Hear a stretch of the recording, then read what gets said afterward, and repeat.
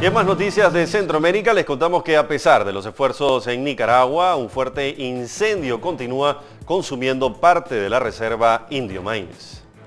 Más de una semana tienen las llamas ardiendo en la reserva Indio Maíz en Nicaragua. A las labores de emergencia se han sumado dos helicópteros apagafuego de Honduras y El Salvador, que se unieron a una aeronave mexicana que ya se encontraba en territorio nicaragüense tratando de controlar las llamas.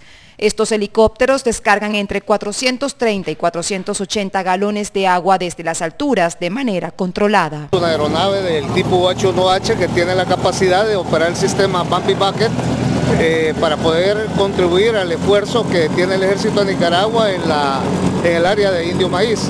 Este helicóptero tiene una capacidad, una autonomía de vuelo de dos horas, por lo tanto pues eh, puede volar dos horas continuas. Una vez eh, termine las dos horas puede hacer reabastecimiento de combustible en la zona y continuar su operación. Grupos ambientalistas en Nicaragua destacaron que con el fuego está en peligro una zona rica en diversidad natural y con gran potencial para desarrollar el ecoturismo. Área eh, tan prácticamente seca en verano pero esto no hubiera ocurrido si no hubiera habido presencia humana, lógicamente. Eh, estamos hablando de que en esta zona están incursionando personas de una manera ilegal y sin control. Lógicamente esto fue algo provocado por la mano del hombre, no puede provocarse solo.